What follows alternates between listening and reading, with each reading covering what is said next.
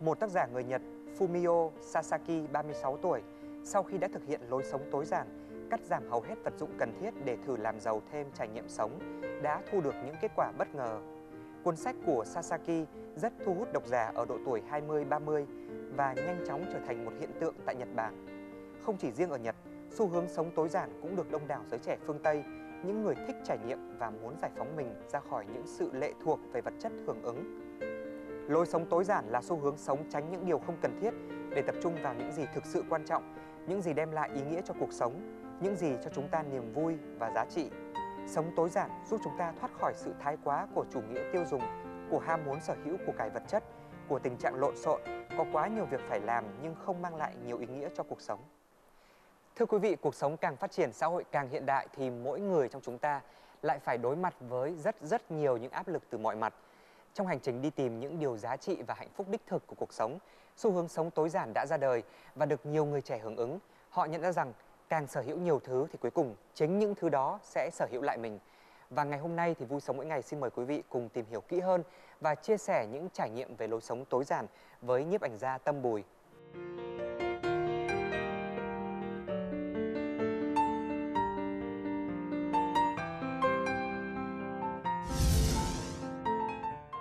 Xin được chào Tâm Bùi và rất cảm ơn Tâm Bùi đã dành thời gian của mình để đến với trường quay của chúng tôi ngày hôm nay. Tâm ơi, câu hỏi đầu tiên á, à, dành cho Tâm đó là chúng ta thường được biết đến là phong cách à, thời trang tối giản, à, thiết kế nội thất tối giản.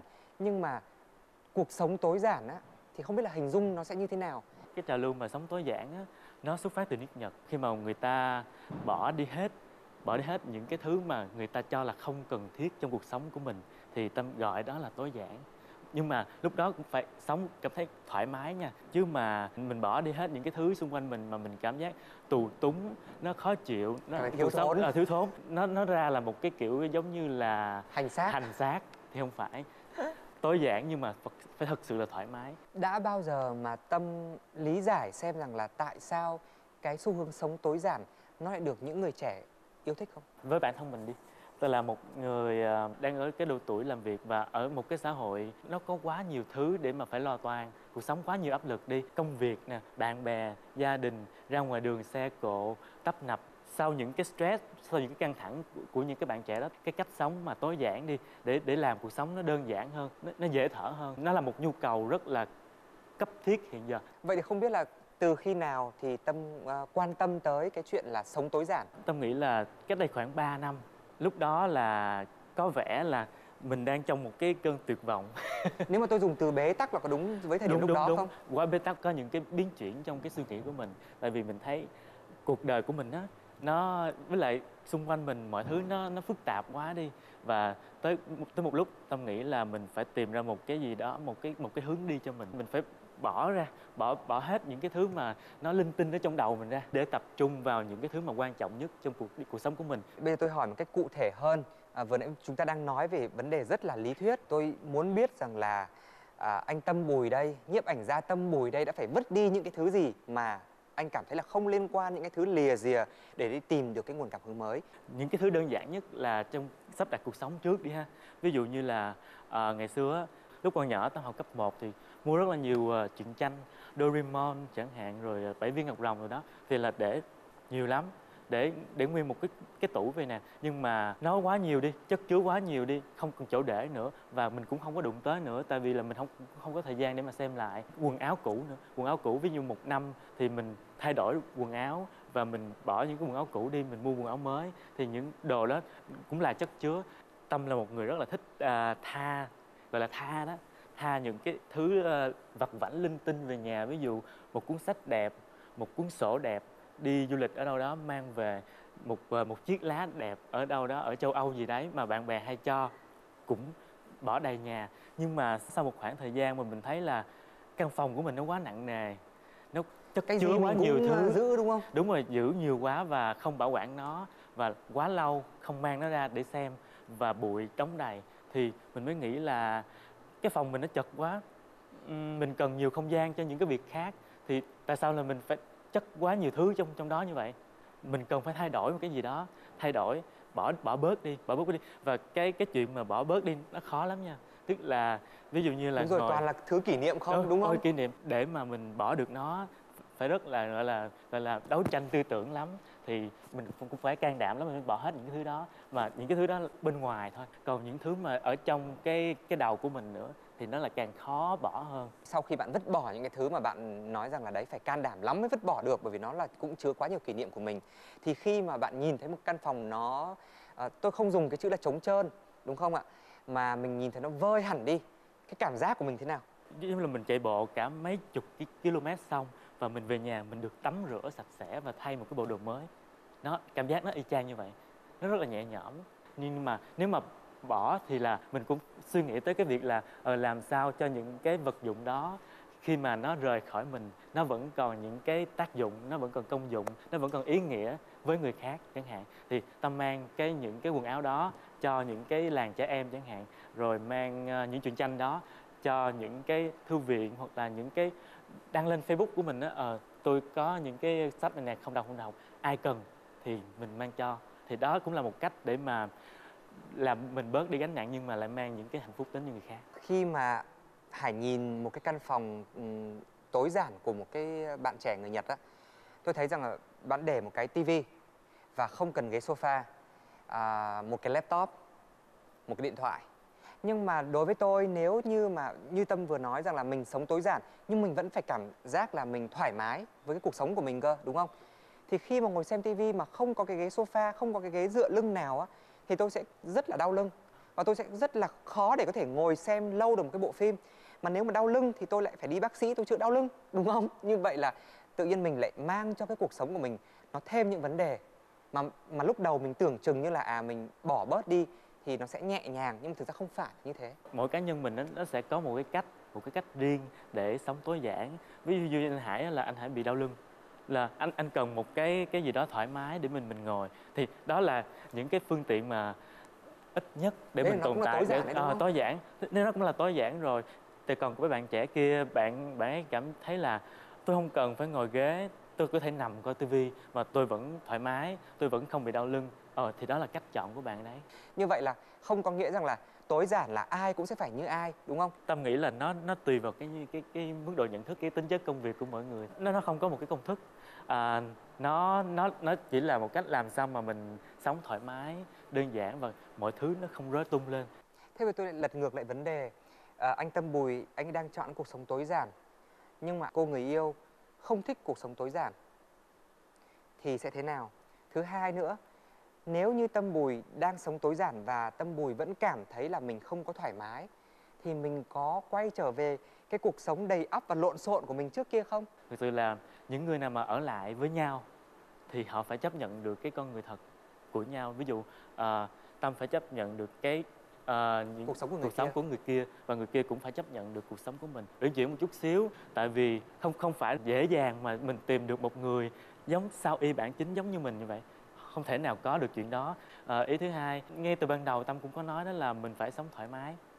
À, cái mục đích cuối cùng của cuộc sống là sống thoải mái sống hạnh phúc chứ không phải mục đích cuối cùng là sống tối giản. Sống tối giản chỉ là một cách sống thôi. Nên khi tâm chọn cuộc sống cách sống cho mình thì tâm chọn cái cách sống nào mình làm là mình thấy vui hạnh nhất phúc nhất. hạnh phúc nhất hạnh phúc nhất à, thoải mái nhất.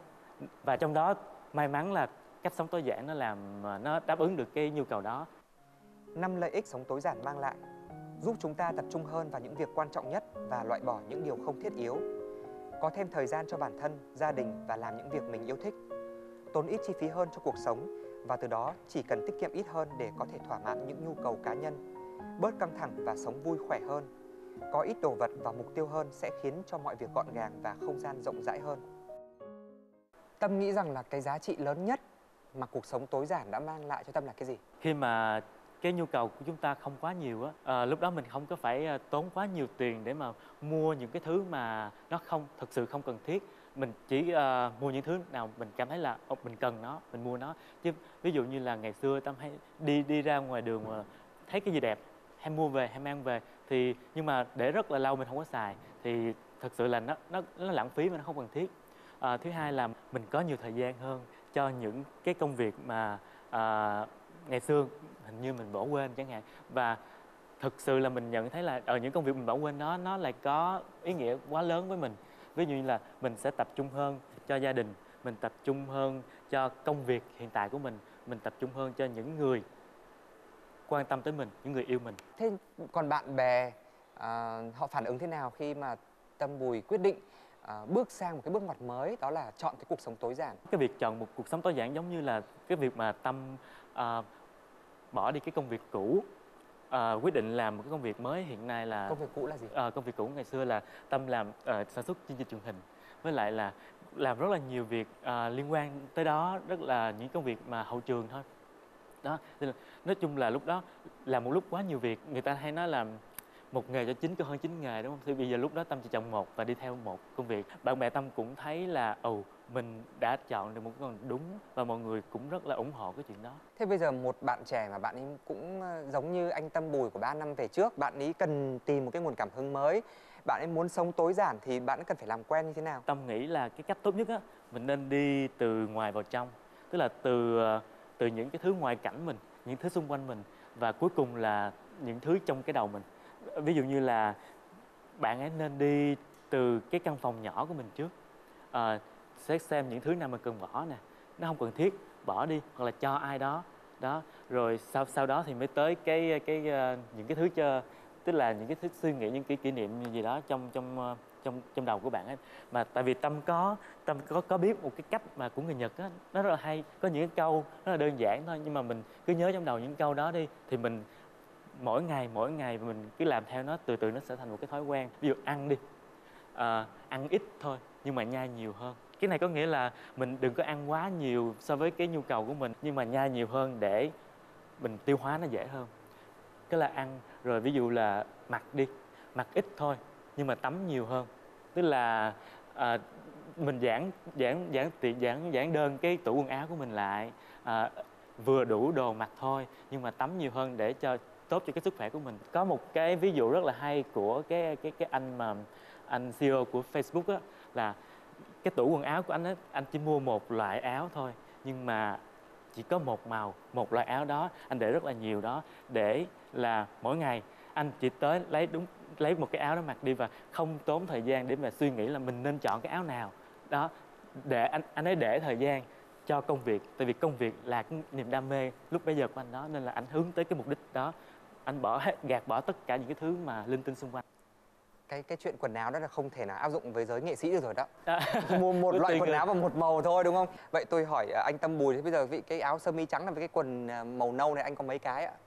Cũng nhiều lắm. Sơ mi trắng có thể ờ, có cổ không cổ tay dài tay ngắn quần cũng vậy. À, dù gì thì tôi vẫn thấy rằng khi chúng ta có một cái cuộc sống nó quá bề bộn, nó quá nhiều lo toan, nó rất nhiều thứ trước mặt mình và để dọn dẹp nó đi, để quen với một cái cuộc sống mới nó ít thứ phải lo toan hơn thì cũng không phải quá dễ dàng để chúng ta có thể quen nhanh chóng được với điều đó đúng không? đúng nên là tâm tâm tâm mới nghĩ là bất cứ một cái sự sự chuyển giao nào á mình cũng phải có giai đoạn từng bước từng bước từng bước gọi là cái bước quá độ đó tức là mình không thể nào mà một bước mình nhảy vọt qua được. Nên là mình sẽ đặt cho mình những cái ờ, những cái gọi là target ví dụ những cái mốc ví dụ như là hôm nay sẽ mình sẽ làm quen với việc bỏ bao nhiêu thứ và bỏ những thứ gì. Từ từ từ từ, từ thì một ngày nào đó thì cái căn phòng của mình nó sẽ gọn gàng lại. Tức là mình phải làm cái gì nhẹ, nhẹ nhàng trước dễ dàng trước cái khó mình tính sau. Bởi vì tôi thấy rằng là gần như những người mà chọn sống tối giản đều là những người độc thân.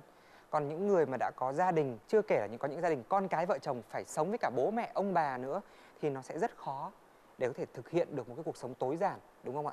tâm nghĩ chính xác đúng tại vì là một cá nhân thì nó đã là phức tạp rồi một tập hợp hai người sẽ phức tạp hơn chút xíu và một, Một tập nhóm người. hợp, một nhóm người à, một gia đình ba thế hệ thì nó quá phức tạp đi và khi mà mình sống chung sống với nhau như vậy á, thì mình phải thu hẹp gọi là tối giản những cái nhu cầu của mình. Bây giờ mình mình bắt mọi người tối giản không được thì mình mình tối giản chính mình đi. Tối giản bớt những cái Mình nhu tối cầu giản của trước mình. đúng không? mình tối giản trước đã. À, thu hẹp lại bớt những cái nhu cầu bớt đòi hỏi đi và cho nhiều hơn. Một gia đình nhiều thế hệ lại có nhiều phòng thì thôi mình cứ tối giản ngay trong căn phòng của mình đúng không ạ? đúng rồi đúng rồi. Tôi nghĩ rằng là với những người trẻ mà ngày hôm nay họ xem được cái cuộc trò chuyện giữa Lương Mạnh Hải và Tâm Bùi thì chắc chắn họ cũng sẽ à, có được câu trả lời cho riêng mình là cuối cùng họ đang cần điều gì, họ đang muốn điều gì trong cuộc sống của mình. Xin được cảm ơn Tâm Bùi một lần nữa. cảm ơn